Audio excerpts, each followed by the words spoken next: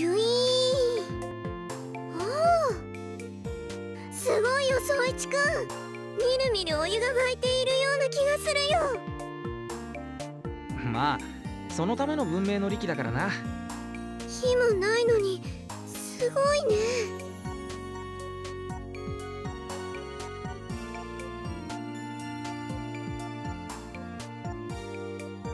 プレートも熱くならないしな火事の心配もぐんと少ない。触ってごらん。本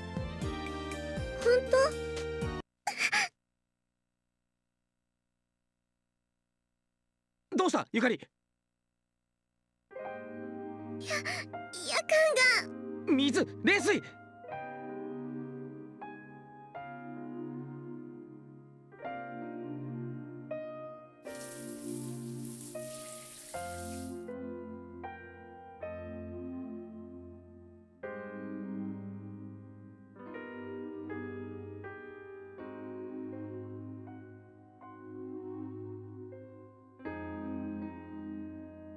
ま流してて。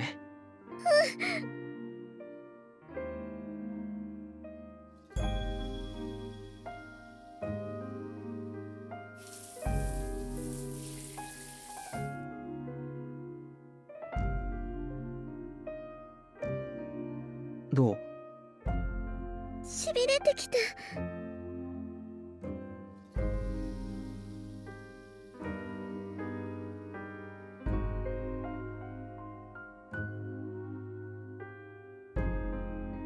ヒリヒリする？えっと濡れてて。ああそっか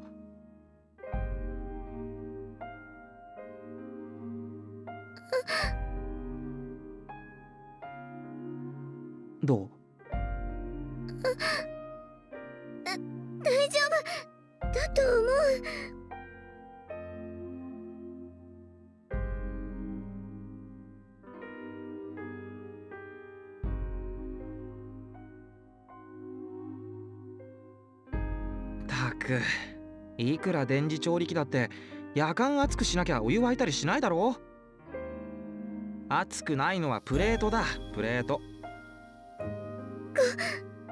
ごごめんなさい。そもそもこのご時世に。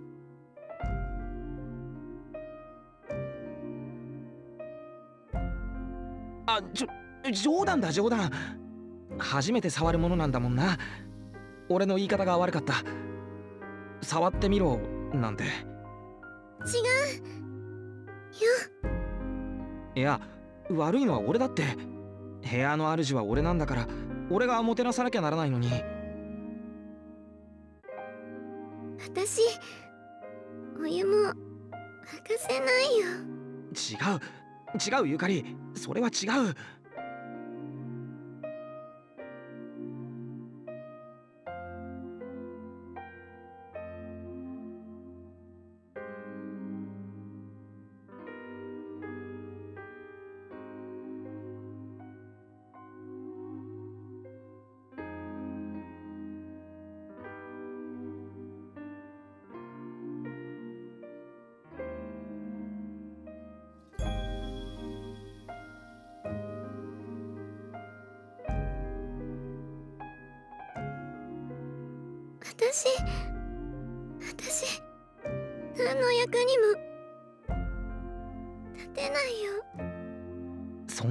なことないよ。こんなのどうだっていいんだ。ゆかり。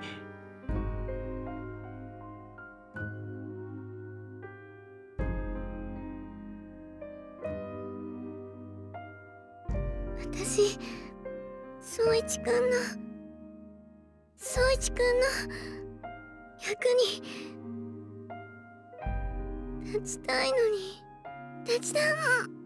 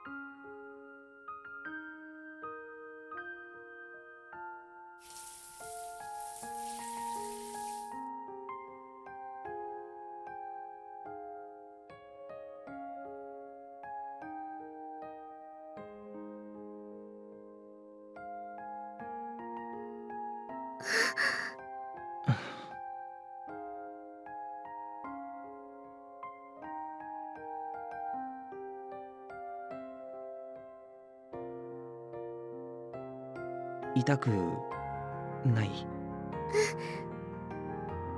大丈夫。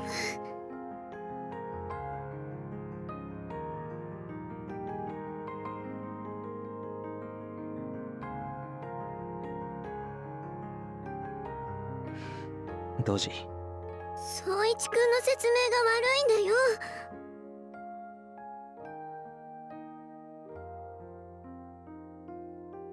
悪かった俺が悪かった。俺が俺はゆかりに迷惑かけてばかりだよな。ち違う違うよ。私私が悪いの。私私が宗一くんに迷惑かけてばかりなの。私なんか私なんか。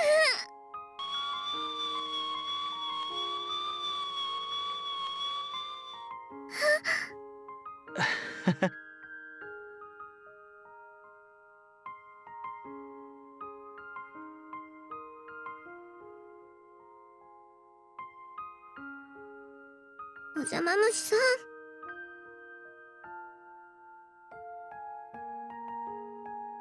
お邪魔虫さんの退治法をお教えしよう。止める時もスイッチを押す。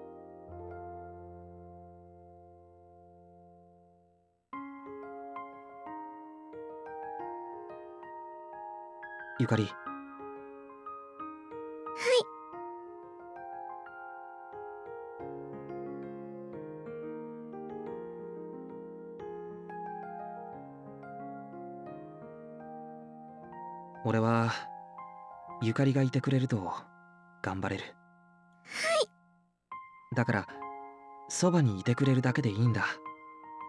他のことなんかどうだっていいんだ。だからそばに。そばにいてくれ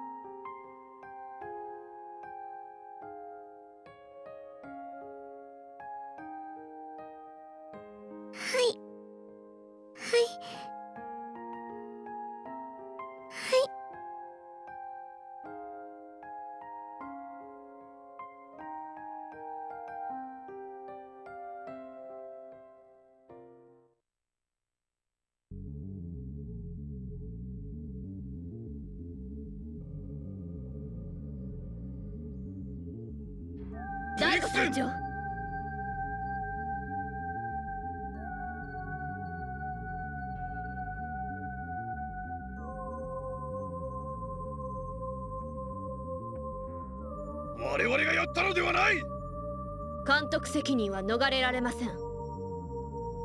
貴様こそ鏡にどう言い訳するつもりだ。打剣といえども飼い犬は飼い犬だぞ。元はといえば鏡の暴走。私はほんの少し力を貸しただけです。あれがキーではないか。貴様ともあろう者がよく白を切れる。さすがは右連れだな。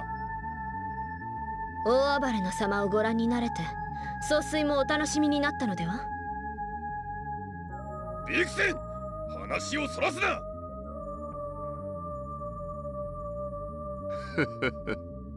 まあよい。大悟総帥！あの男の大きな信頼を得たのは間違いない。それは行幸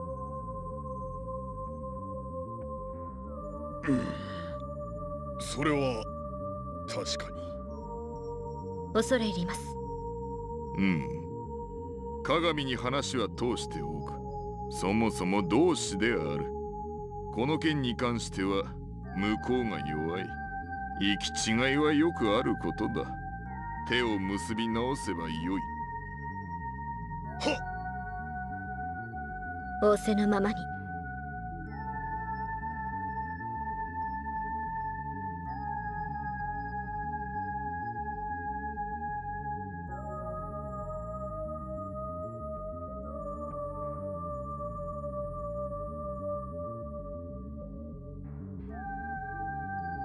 見事なものだ。な。はい。それは？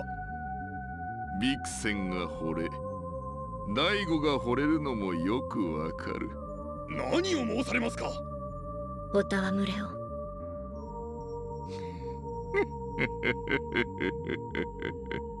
隠さずともよい。少年少女ではあるまいし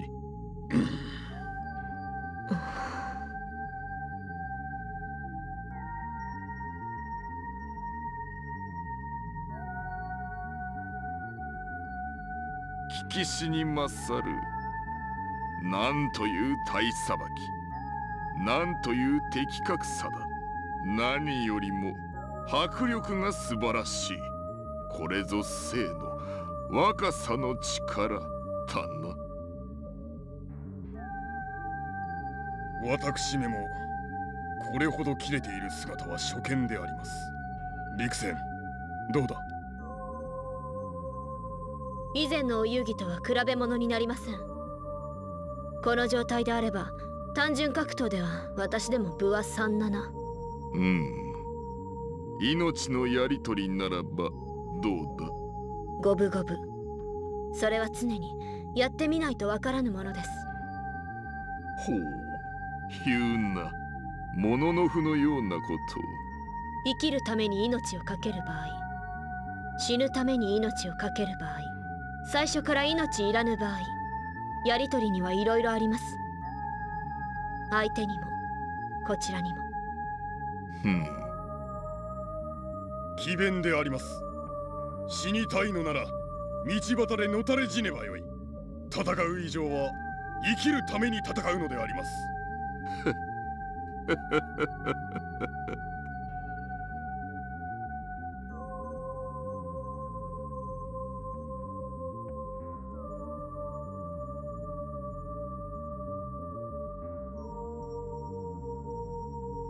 し女一人で強くなるものですな。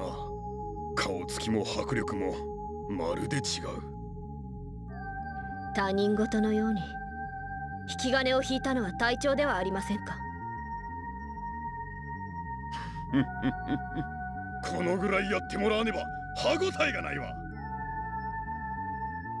お戯れを 以前のチャラチャラとした薄っぺらい拳ではない。背負うものあると違う。受けてみたいものだ。どうだ陸戦？ごめんこむります勝ち目のない戦いはしない主義です。闇に遊ぶ狐は戦いの楽しみを分かっておらん。主の胃を狩る犬は生の苦しみを知りません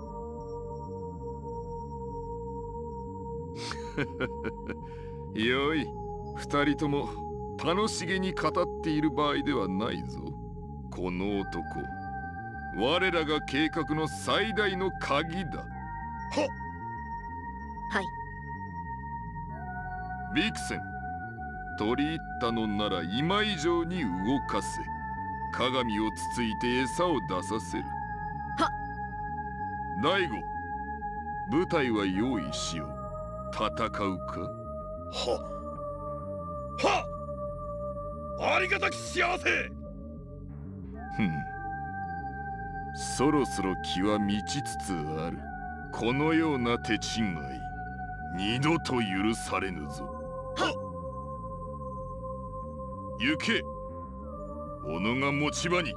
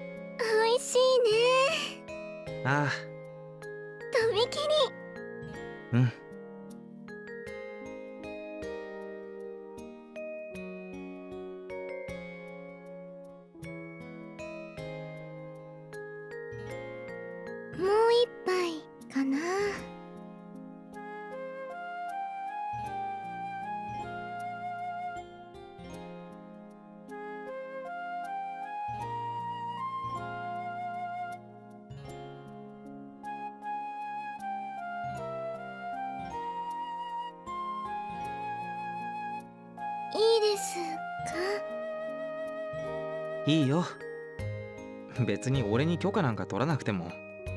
だってまた太るぞって言われそうだもん。言わないって。ゆかりは甘いの好きだよな。大好き。お紅茶もお砂糖をたくさん入れると美味しいよ。まあ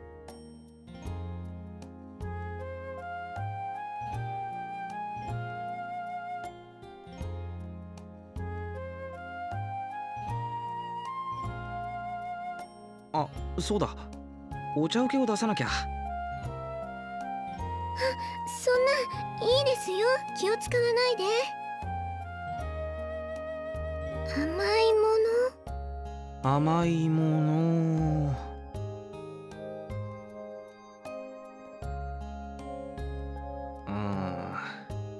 うん。ろくなものがない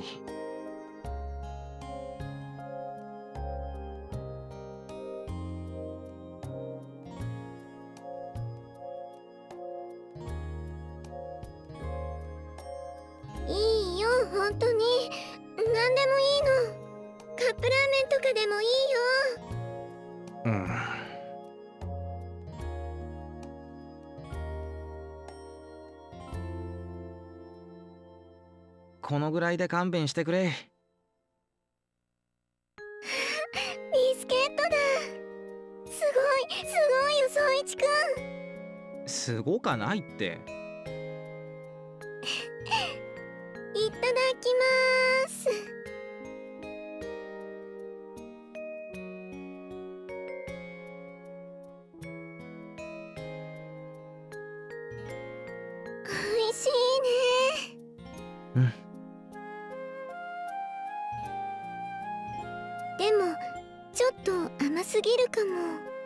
ゆかりの唇ほどじゃないさ。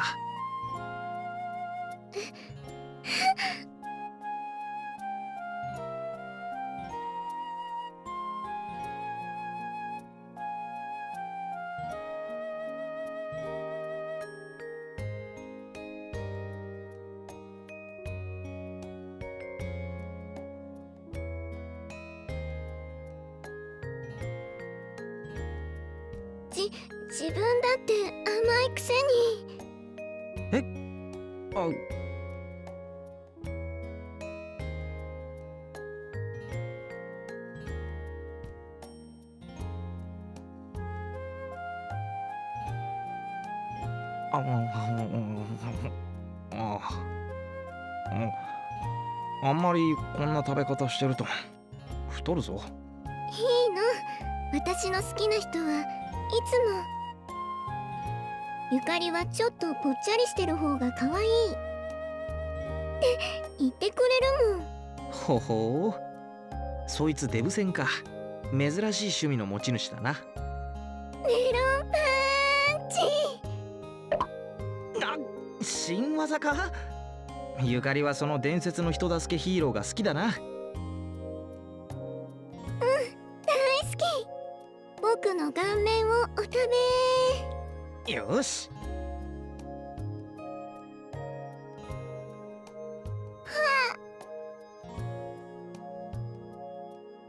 食えって言ったろ？違います。た食べるのはここっちあででは遠慮なく。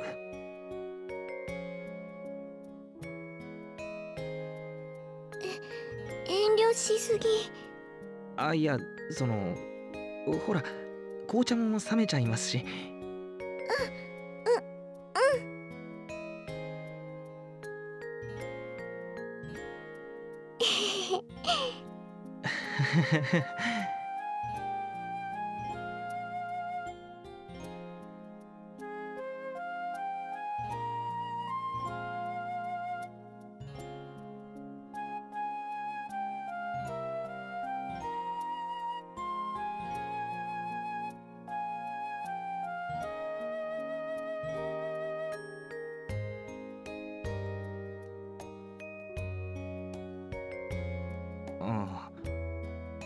あのさゆかり。ははい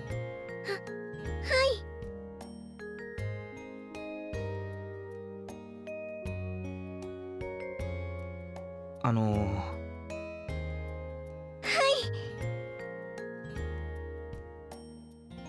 ビスケットおいしい？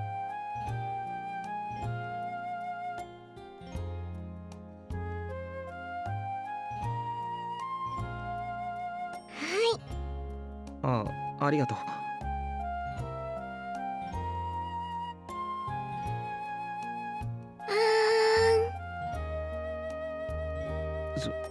そんなことできるかよ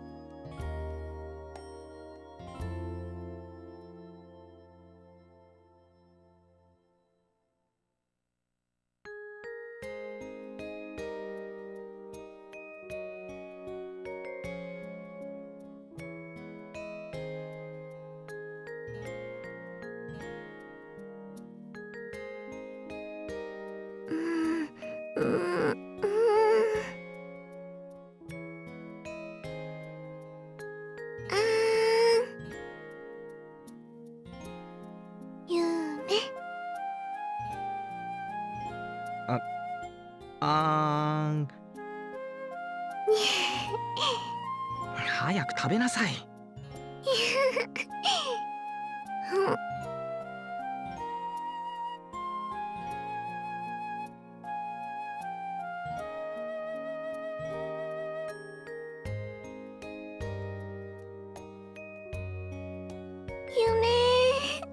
よかったな。かなって。まだまだ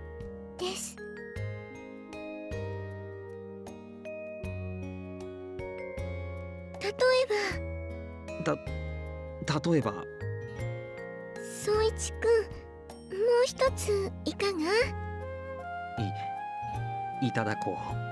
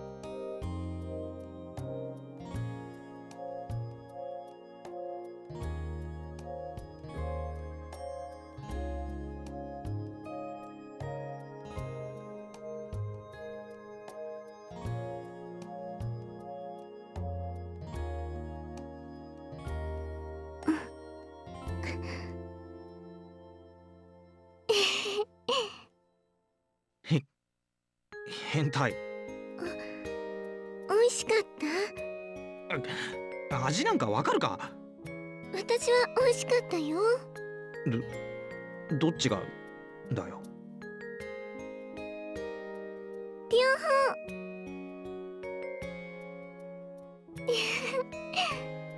幸せだよ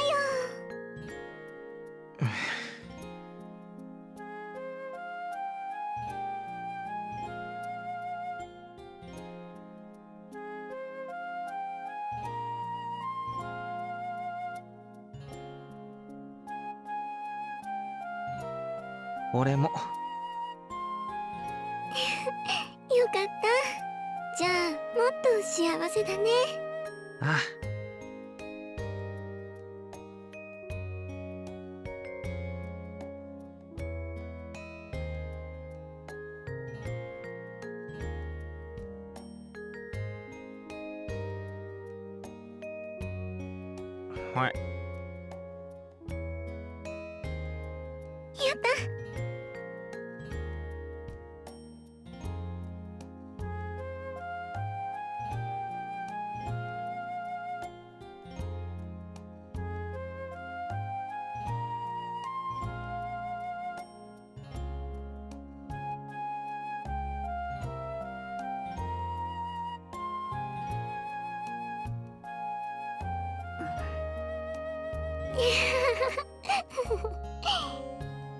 もう一枚？う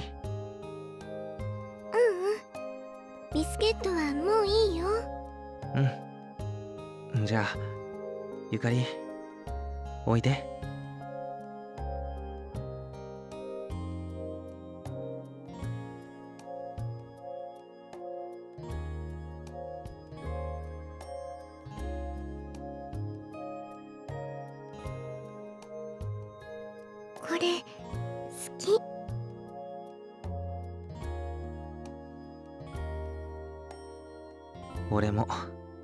ゆかりはあったかいな。そうかな。抱きしめるとよくわかるよ。ゆかりはあったかい。じゃあ交代しよう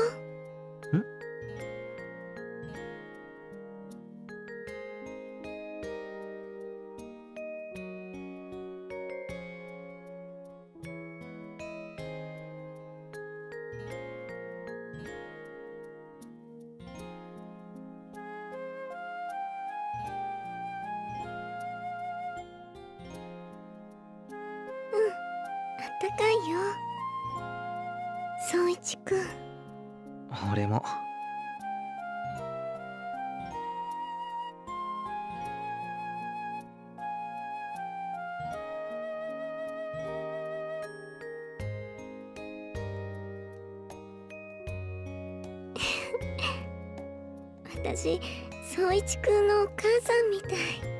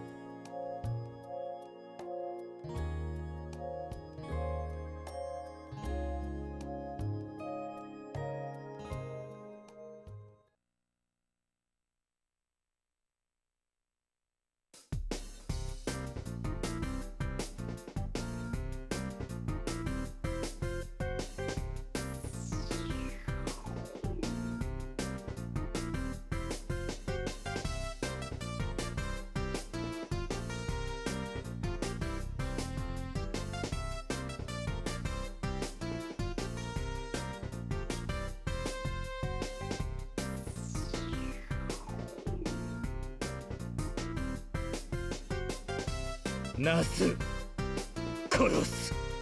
朝の挨拶がそれかよ。そんな野蛮なことじゃ。か。の。じょ。はできないよ。9999ダメージ!俺をつついて遊んでる場合ではなかろう。イトップ。これはチャンスだ。チャンスだとこれを機に貴様のお気に入りの狐女も種の保存の本能に目覚めるかもしれんぞ。大チャンスじゃないか。感謝しろバカ者。違う！断じて違う！お前は何も分かっちゃいない！俺は確かに確かに鉄火丼が食いたい！だがとりあえず腹が減ってるんだ！その目の前でステーキ食われちゃ腹が立つだろ？なんつう身勝手な。まあとにかくだ。大日本湯浅連盟代表略して DYD のこの私ですだ。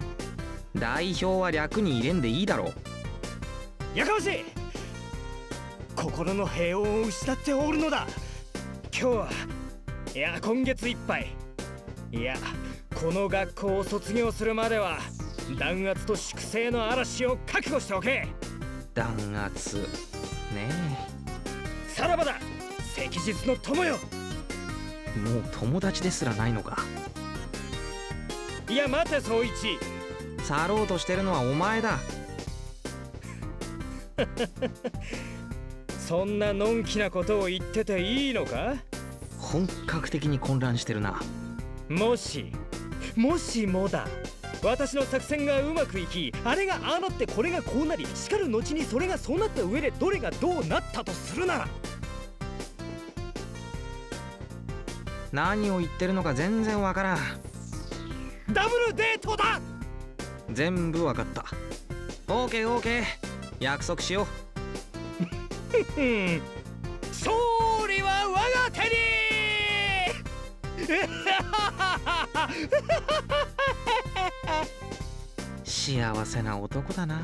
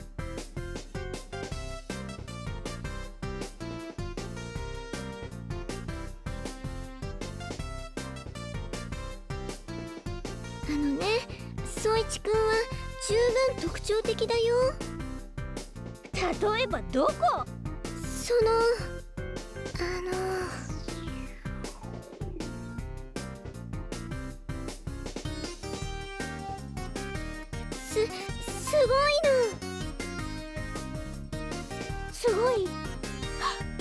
ナグトうんわあえっとそうじゃなくってあのえっとそのああそうそう。あのすすごく優しいの。なんだちょっとドキッとしたよ。だってあの人寝てばっかりじゃない。あのさほったらかしと優しいとは別だよ。私だってその区別ぐらいつくよ。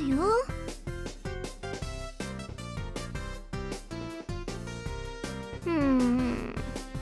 わからなくもないけどさ。ゆかりなら他にいくらでもいいの見つかると思うけどな。あわかった。ゆかりあんた結構ワルだに。ワル偽装。でしょ偽装？ほらよくあるじゃない。美人女優が何の特徴もない広告代理店の何の取り柄もない冴えない男と結婚するやつ。あれよあれ。裏で何やってるかわかんないけど男は何も言えないってやつ。ゆかりあんた悪い子だね。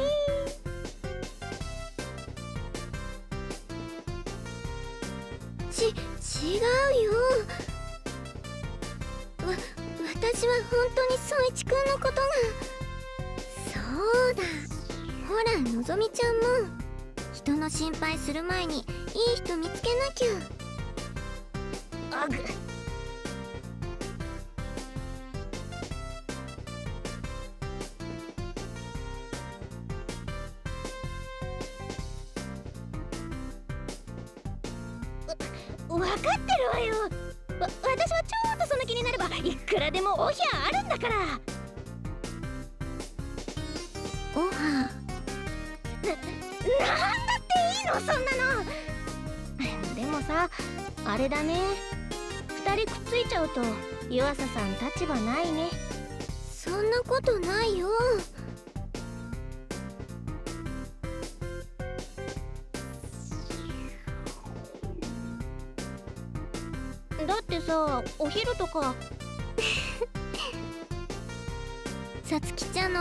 じゃなきゃ宗一くん満足しないもの。なーに言ってんのよ。これからはあんたが手作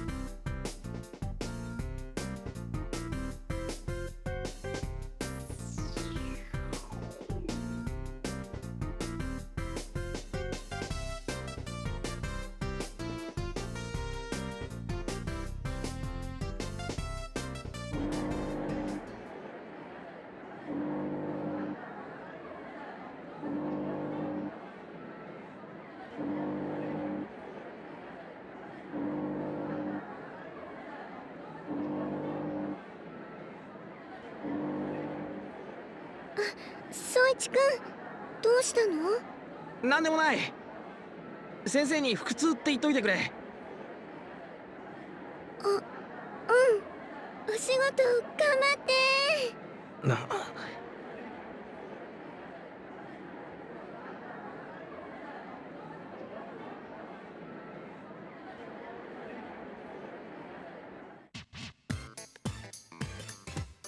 すまねえそいち邪魔しちまってよ一刻も早く知らせたくてさ。構わないよ。大事な情報なんだろ。ああ。大悟の居場所が見つかった。何？奴はある人物に雇われてこの町にいる。それも隠密ではなく相当派手に動き回ってる。だからこそこんなに早く見つかったんだが。それだ雇い主の名を知りたい。もちろん。調べるまでもなく分かったぜ。聞いて驚け。国家関係者でもなければマフィアでもない。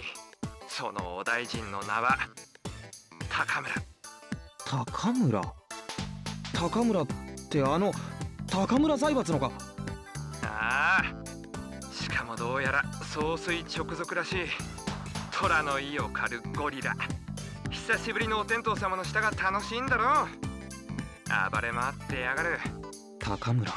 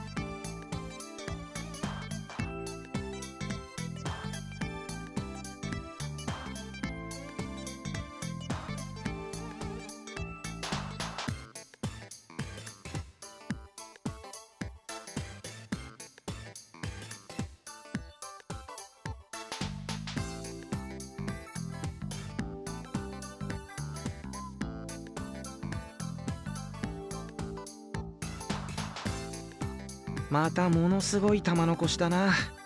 あの総帥ならもっとマシな男はいくらでも雇えるだろうに。戦闘力なら最高クラスだからな。忠誠心も熱い。経験も豊富だしね。まあな。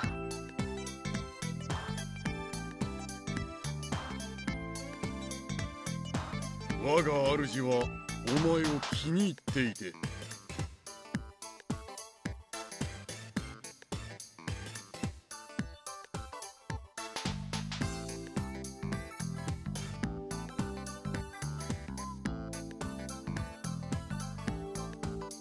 エディ。うん。どうした？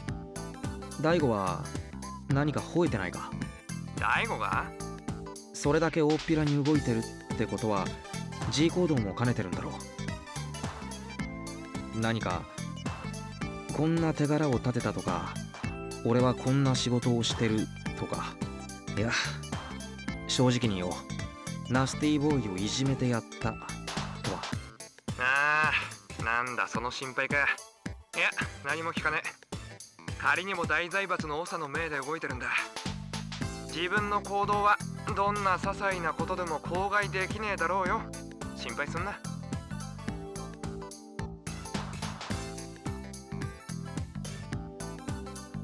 一発。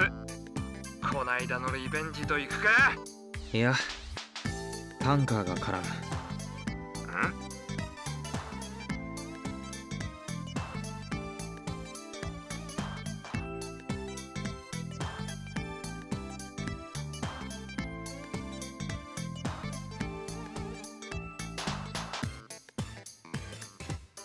高村エネルギなるほど。そりゃうかつだったぜ。ー放っておいても一戦ありそうだ。お仕置きはその時でいい。それより。分かった。引き続き大悟の動きをマークする。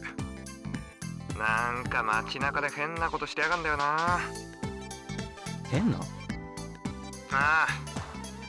古美術展とか博物館とか美術展とかそんなところにずかずか現れるんだってよ。しかも高価な物品を気前よく大枚叩いてポンポン買いまくるらしい。高村の趣味の買い出し部隊にしちゃ世界一高価なパシリだぜ。